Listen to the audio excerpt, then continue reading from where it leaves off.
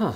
Well, how about that? Um, ladies, gentlemen, and whatever kind of thing you happen to feel like calling yourself. Um, I might not actually finish this project because capturing gameplay like this from the PS4 is for me a very well uh, okay why don't I just walk you through what I need to do uh, to, to get uh, gameplay footage from my PS4 like this um, what I need to do is first of all obviously detach the HDMI uh, uh, cable from my AV receiver and connect that to my capture device. But then the fun starts.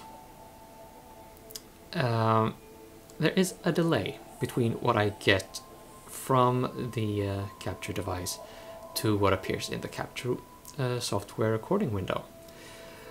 Um, and for whatever reason, I can't get video to my TV. I don't know why that is. I suspect it's uh, something about uh, bypassing the uh, um, the receiver, and for some funny reason, it doesn't like me when I don't use the receiver. I don't know. It's just technology shen shenanigans. Um, so what I'm doing right now is I have PlayStation 4 Remote Play installed on my lovely little PC and uh, it doesn't run at uh, full uh, 60 frames per second which is uh, a little bit of a problem. Let me see if I can just uh, make some things happen there. Okay no it, I can't change settings. Okay. Uh, well it doesn't show 60 frames per second output. Um, I don't know what that will mean for me as a in terms of motion sickness, which I often get in uh, some, uh, well, shall we say, camera intensive uh, games. I do, well, anyway, um, the plans for this playthrough is to just uh, uh, watch some footage, uh, you know, and reflect on what we see, so it doesn't really rely on quick camera craziness.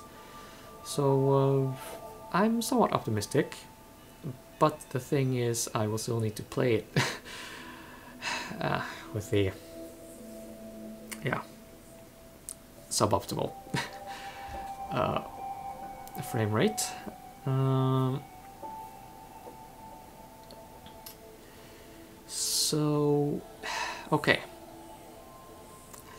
uh, so yeah what I want to say with that is that uh, I can't actually guarantee that I will well basically follow this through to the end. Uh, that's a bit of a setback. Um, I will try but uh, hey gotta be honest. Um, so, greetings everyone who is still watching.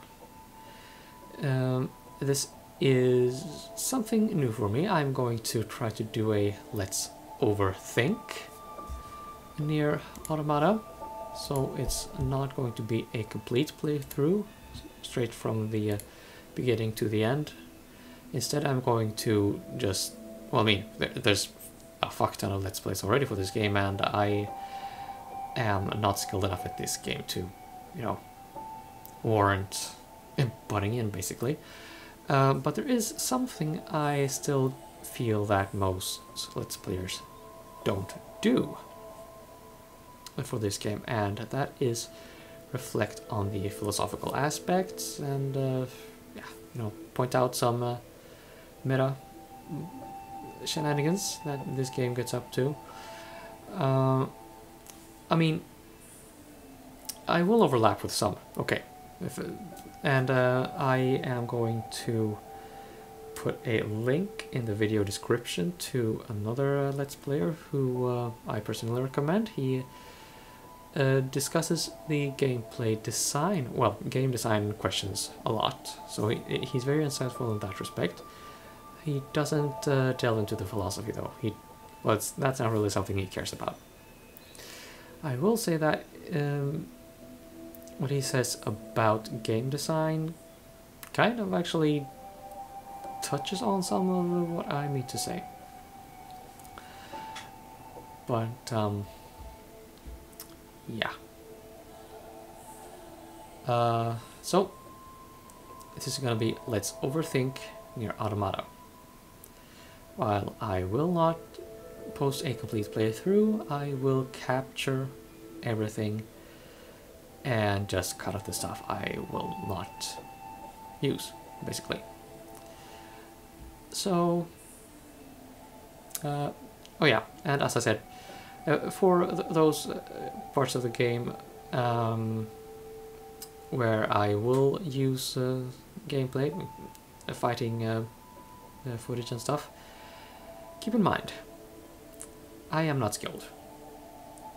I will try, I will play this game on easy. I will play this game with auto chips. I will not use auto attack, but I will use auto fire and auto evade when I can. So, you know, just if I pull off some amazing dodge, it's not me. It's my PS4. Okay? All good? Um, right, let's get this party started.